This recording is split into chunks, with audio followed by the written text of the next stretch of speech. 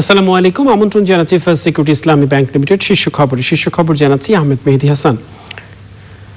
রাজশাহীর চার ঘাটে পদ্মায় ইলিশ ধরার সময় ভারতীয় যে জেলেকে নিয়ে বিজিবি বিএসএফ এর মধ্যে গোলাগুলির ঘটনা ঘটে, সেই প্রণব মণ্ডলকে জেল হাজতে পাঠানো হয়েছে।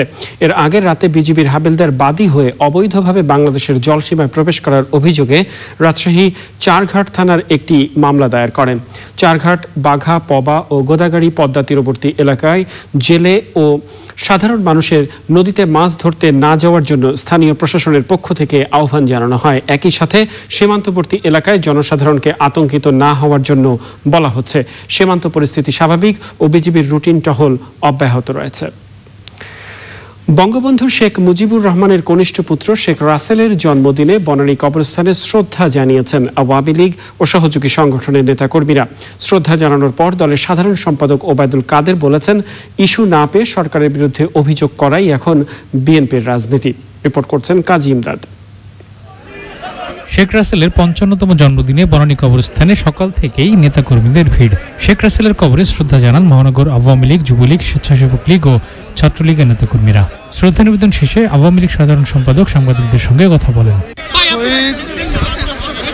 শেখ রাসেলের জন্মদিন। মানব সভ্যতার ইতিহাসে কোন রাজনৈতিক হত্যাকাণ্ডে অবলা নিরি- নারী অবশ শিশু টার্গেট হয়নি। ওবায়দুল কাদের বলেন দেশ যখন উন্নয়ন ও অগ্রযাত্রার দিকে এগিয়ে যাচ্ছে তখনই সরকারের বিরুদ্ধে অপপ্রচার চালাচ্ছে বিএনপি। নির্বাচনেও তারা ব্যর্থ আন্দোলনেও ব্যর্থ। এখন তারা ইস্যু খুঁজে বেড়াচ্ছে।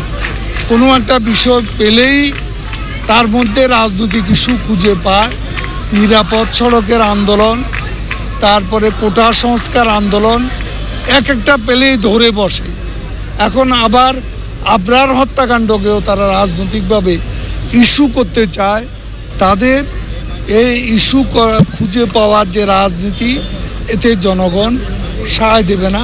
বিএনপিকে সঠিক ধারার রাজনীতিতে ফিরে আসার আহ্বান জানান ওবায়দুল কাদের।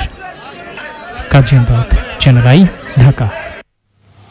কক্সবাজারের টেকনাফে বিজিবির সাথে বন্দুকযুদ্ধে দুই রোহিঙ্গা মাদক ব্যবসায়ী ও জয়পুরহাটের পাঁচ বিবিতে পুলিশের সাথে বন্দুকযুদ্ধে এক মাদক ব্যবসায়ী সহ তিনজন নিহত হয়েছে। টেকনাফে ভোরে নাফ নদীর হুয়াংকং মোহনায় বন্দুকযুদ্ধের ঘটনা ঘটে। নিহতরা হল কুতুপালং রোহিঙ্গা ক্যাম্পের সি ব্লকের নূর কামাল ও একই ক্যাম্পের এ ব্লকের বাসিন্দা আবুল হাসিম ঘটনাস্থল থেকে অস্ত্র ও ইয়াবা উদ্ধার করে বিজিবি। তাদের মরদেহ ময়নাতদন্তের জন্য কক্সবাজারের সদর হাসপাতালের মর্গে পাঠানো হয়েছে। জয়পুরহাটের পাঁচ বিবির ভূত গাড়িতে পুলিশের সাথে বন্দুকযুদ্ধে অপহরণ, মুক্তিপণ আদায়, মাদক ব্যবসা সহ আট মামলার আসামি আমিরুল ইসলাম নিহত হয়েছে। আহত হয়েছে দুই পুলিশ সদস্য। ঘটনাস্থল থেকে একটি পিস্তল ও সাত রাউন্ড গুলি উদ্ধার করেছে পুলিশ।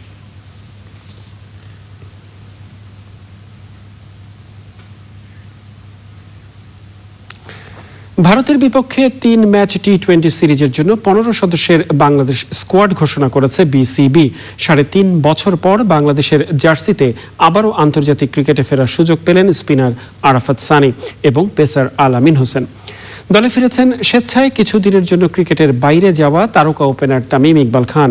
এক সিরিজ পর ফিরেছেন আরেক ওপেনার সৌম্য সরকারও। সেপ্টেম্বরে আফগানিস্তান ও জিম্বাবুয়ের বিপক্ষে ত্রিদেশীয় সিরিজে দলে থাকলেও এবার বাদ দেওয়া হয়েছে সাব্বির রহমান, তাইজুল ইসলাম, রুবেল হোসেন এবং নাজমুল হোসেন শান্তকে। আসন্ন টি টোয়েন্টি সিরিজের জন্য পনেরো সদস্যের বাংলাদেশ টি টোয়েন্টি দলটি হল সাকিব আল হাসান অধিনায়ক, তামিম ইকবাল, লিটন কুমার দাস, সৌম্য সরকার, মোহাম্মদ নাইম শেখ, মুশফিকুর রহিম, মাহমুদুল্লাহ রিয়াদ, আফিফ হোসেন, মোসাদ্দেক হোসেন সৈকত, আমিনুল ইসলাম বিপ্লব, আরাফাত সানি, সাইফুদ্দিন আলামিন হোসেন, মুস্তাফিজুর রহমান এবং শফিউল ইসলাম। প্রিয় দর্শক, জানিয়ে দিলাম হাতে থাকা শীর্ষ খবর। ধন্যবাদ সবাইকে এতক্ষণ আমাদের সাথে থাকার জন্য।